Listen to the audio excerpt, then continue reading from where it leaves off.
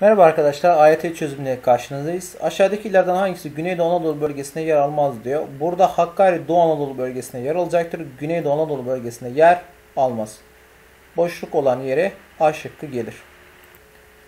Dünya haritası vermiş bize. Bu dünya haritası üzerine 5 tane nokta vermiş. Hangisinde sel ve taşkınlar daha fazladır diyor.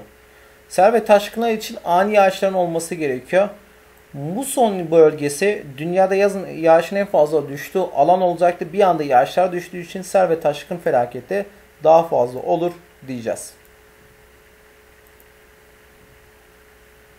Nadas toprağın bir sene boş bırakılıp bir sene ekilmesidir. Kurak ve yarı kurak bölgelerde bu metot yaygın olacaktır. Hangi illerde bu metot daha az kullanılır diyor. Yağışın fazla olduğu Ordu'da Nadas alanları yoktur. Konya, Urfa, Kayseri ve Afyon iç kısımlarda kaldığı için biraz daha kurak olacaktı. Ordu ise Karadeniz'de yer aldığı için yağış miktarı yüksek, yağış miktarı olduğu için de Nadas'a ihtiyaç yoktur.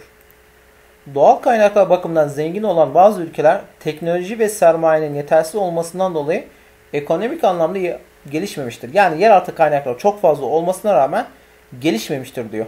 Nijerya Afrika'nın en zengin petrol yataklarına sahip olan bir ülkedir.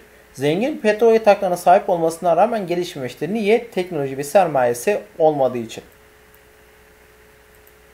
Türkiye'deki kır yerleşmelerinin özellikleri arasında yer almaz diyor. Eğitim ve kültürel imkanlar fazladır. Hayır. Kır yerleşmelerine baktığımız zaman kır yerleşmesi köy ve kasabadan meydana gelecektir. Eğitim ve diğer kültürel faaliyetler biraz daha kısıtlı az olacaktır. Bu sorunun cevabı da E olacaktır.